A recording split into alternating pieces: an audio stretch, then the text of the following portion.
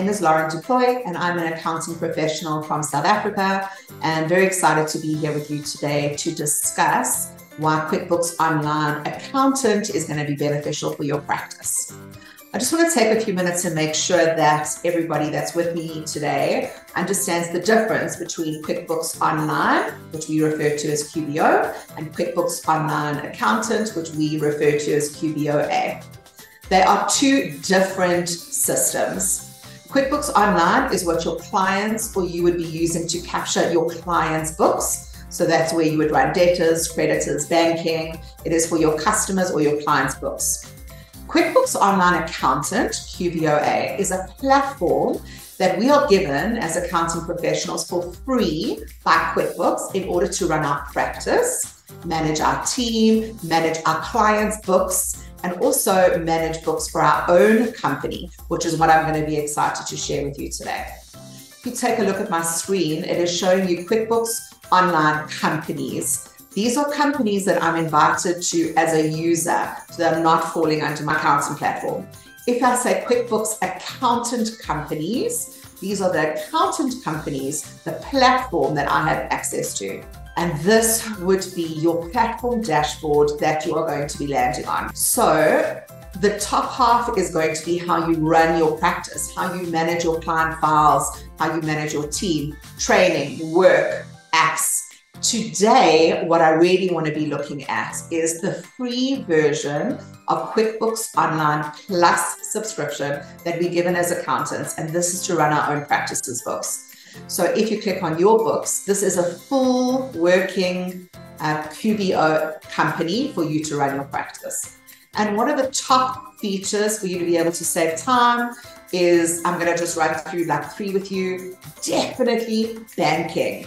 You have to have connected your bank to your local bank if it's available. If it isn't, you can upload a CSV file. It's really quick and easy, and um, it'll bring in all your transactions for the period. If you're able to link it to a local bank, please go ahead and do that. It's going to update all your bank transactions daily uh, to make sure that everything's in the system.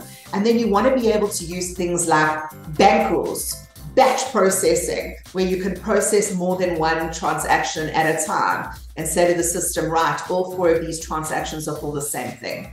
Also, this might be the first time that you're using your bank processing, but the system learns really well that if you put this transaction to, for example, bank charges, the next month when you come in, it's going to remember that it was bank charges. So remember, this automation is all about saving time and making your processing quicker.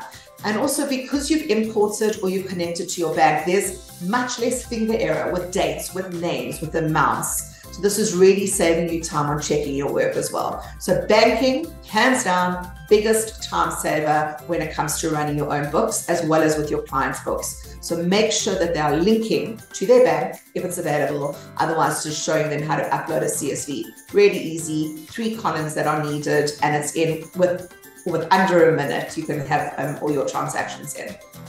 Another thing that we use in our practice that saves us a, a lot of time is with all of our bookkeeping clients, we insist that they have to be on retainers.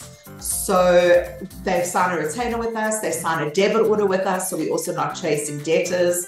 That's a little tidbit for you. If you're not doing that in your practice, please implement it because it's a huge time saver.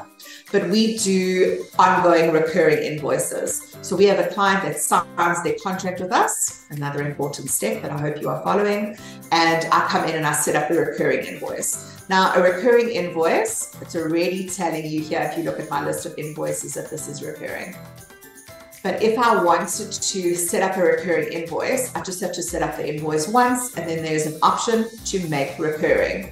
These are just the steps that you would be filling in. Is it monthly, annually? If you're billing a subscription, you know, once annually, once a year, you can uh, set it up there. If it's monthly, all of our clients go onto a recurring invoice. It is sent out automatically, so I don't even have to worry about it. I know that it's set up and it's going to run. You can set it up for a certain period, certain amount of time if you want, or you can just set it to run until that client gives you notice, or they'll just be with you forever, which is obviously our objective. So this is something else we use extensively in our practice.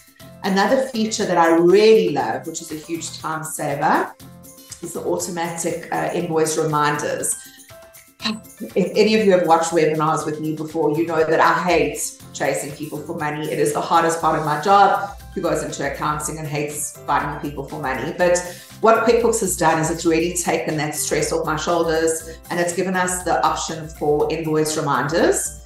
And you would find that under your company settings and under sales. And this is another way that just automation is making our lives easier. You can set up your reminders to go you know, in advance, so three days before the invoice is due. If the invoice isn't paid, it will remind two days after. The only trick here is you have to make sure your bank is up to date so that payments are captured.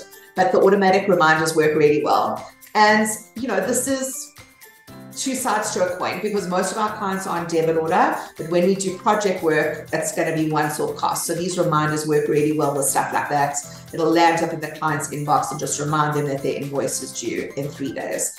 So I would definitely suggest using that, and we use that with all of our clients as well. The other things that we use, which I love, is our planning. So we use our cash flow planner for the year, just a really cool tool that you can make sure that you are setting up good KPIs for your team if you're wanting to grow to be able to make good decisions. And obviously, you know how fantastic the reporting is because I'm sure you're using that with your client.